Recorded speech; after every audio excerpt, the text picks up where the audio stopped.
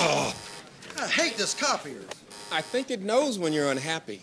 I know this copier. Come on, looks like somebody needs to go to Hooters. Hooters. Get on up and get on down to Hooters.